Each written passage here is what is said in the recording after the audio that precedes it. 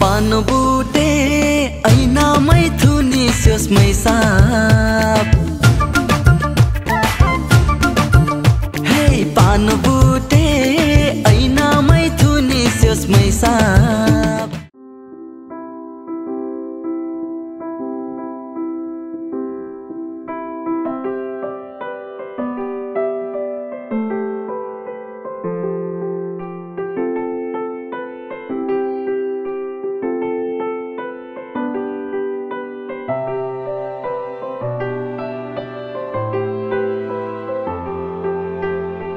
Movie नै एकदमै रमाइलोसँग बितेको मुभी हामी एक दिन पनि थिएन होला जब त्यो सेटमा हाँसो हुँदैन थियो हामीले आधी एक घन्टा ब्रेक गर्दैन थियौँ हाँस्नको लागि मात्र भनेर होइन सुटको टाइममा। त्यस्तै गरी अब सङ पनि सङ पनि एकदमै राम्रो हो। मैले जुन एउटा हाम्रो सुटको टाइममा सोचेको भन्दा पनि अझ धेरै बेटर पायौँ होइन। हाम्रो साथीको गुज बम्स आएर भर्खरै बेलामा। अनि एकदमै रमाइलोसँग काम गरियो। अब स्पेसली सारालाई मैले साराको सारासँग अब यो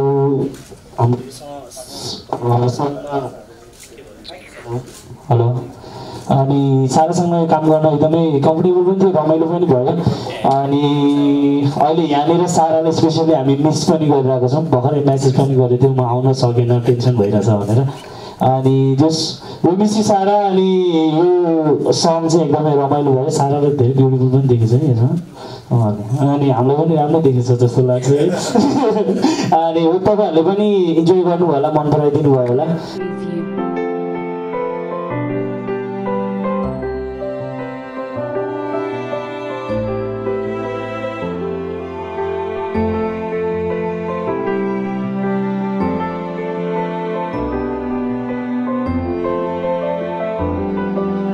अहिले मेरा विज्ञानजी रोमनजी डोनमजी हामी चारजना मिलेर बनाएको छौँ यो फिल्म चारजना मिलेपछि खम्बा पनि पिल्लर हुने रहेछ। पिल्लरको माथि ढलान हुने भएपछि त घरै हुने रहेछ।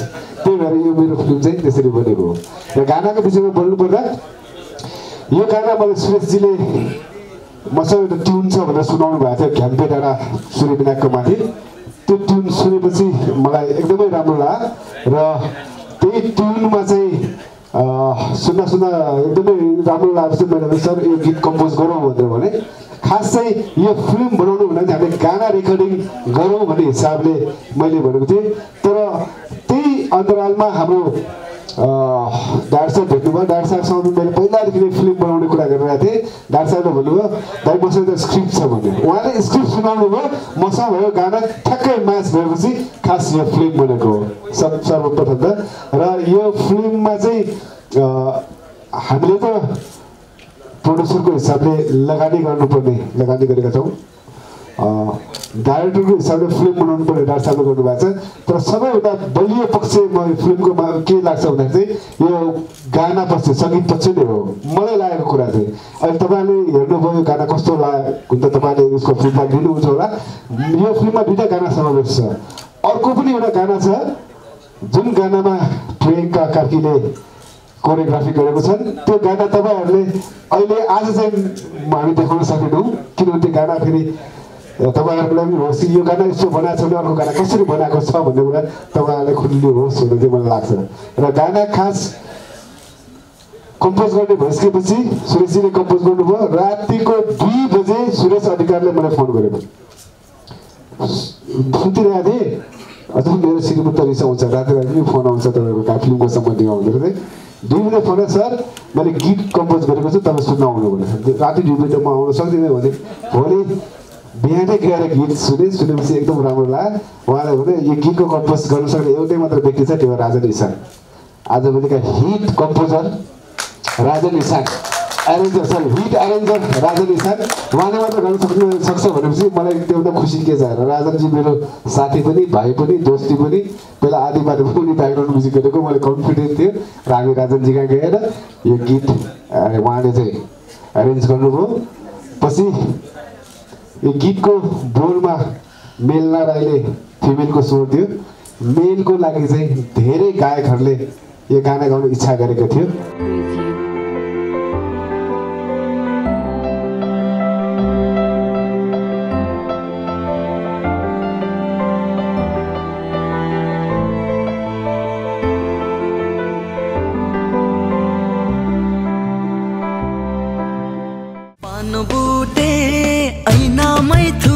थुनी स्योसमै साप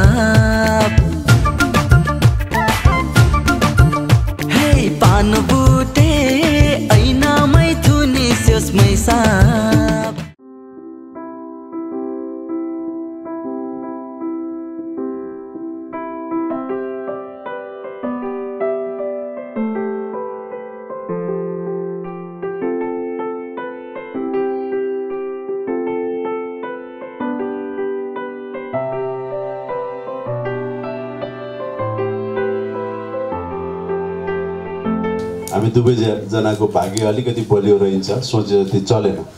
तथापि म जहिले पनि के भन्ने गर्छु भने चलचित्र चल्ने नचल्ने आफ्नो ठाउँमा छ। निर्देशकको निर्देशकीय क्षमता भयो भने म मलाई सन्तुष्ट हुन्छ। त्यसकारण अधकट्टि सोचे जस्तो नचले तापनि उहाँको निर्देशकीय क्षमताप्रति मैले सधैँ भन्ने गर्दछु म सन्तुष्ट छु। त्यसकारण पनि सुश्री सम्पत्ति राम्रो चलचित्र बनेको छ भन्ने मलाई विश्वास छ।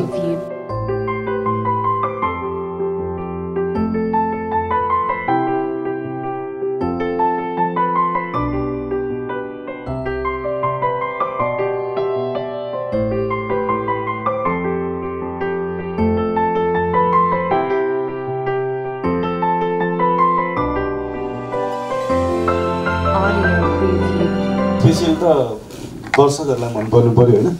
हामीलाई त यसै नै मन परिहाल्छ। त्यही हो। अब जति भन्नु उसले भनिहाल्यो।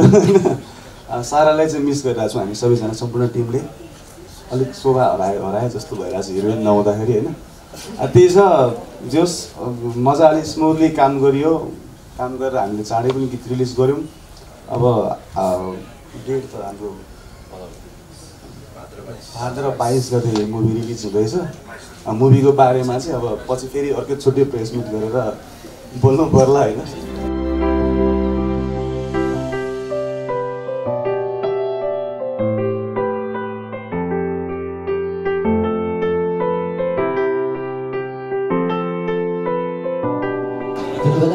कि दाइले अँ, विशाल भाइ म एउटा मुभी बनाउँदैछु त्यसमा तपाईँले गाउनुपर्छ भन्नुभएको थियो। हुन्छ दाइ भनेर बसिरहेको थिएँ। हुँदै हुँदै अब सुरेश अधिकारी सरसँग पनि भेट भयो। उहाँसँग पनि दुईकै काममा हिँड्दा डुल्दाखेरि गर्दाखेरि उहाँकै सङ्गीतमा उहाँकै कम्पोजिसनमा भएपछि त मलाई पनि अलिकति सजिलो भयो। तर पछि अरूले पनि गाउने कति के के भन्ने भएको थियो त्यही पनि अब प्रोड्युसर दाईहरूले डाइरेक्टर दाईहरूले मलाई सायद यो गीतको लागि सक्षम सायद सम्झिनु भएर होला। गाउन दिनुभयो। अब कम्पिटिटर भन्दा त अब त्यो छन् छन् त सबैजना। त्यही पनि अब अब आफ्नो आफ्नो टोन हुन्छ ट्युन हुन्छ। त्यसको लागि अब मान्छेले कसको मन पराउँछ मन पराउँछ भन्ने त हामीले भन्दा पनि हजुरहरूले जल गाइदिनु हो। थ्याङ्क यू सो मच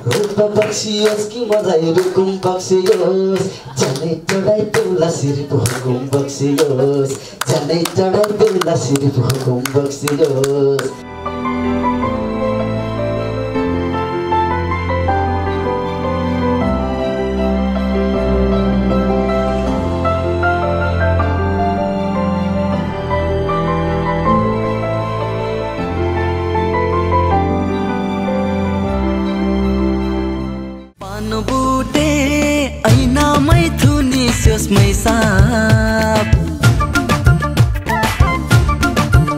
हे पानबुटे ऐनामै थुनी स्योसमै साप